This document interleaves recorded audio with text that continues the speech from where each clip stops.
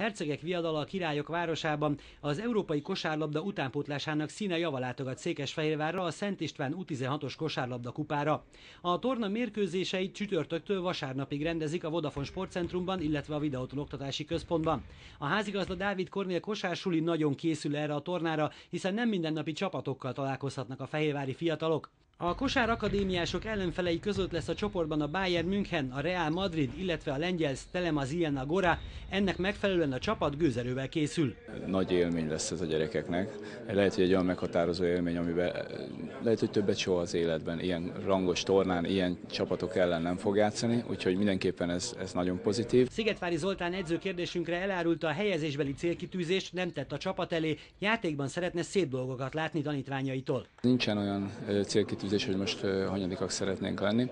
Azt szeretném látni, hogy amit gyakorolunk egész évben, és amire készülünk, hogy majd a bajnokságban is ezeket kamatoztassuk, és hogy megtanuljanak bizonyos dolgokat a kosárlabdából, azokat itt viszont lássuk.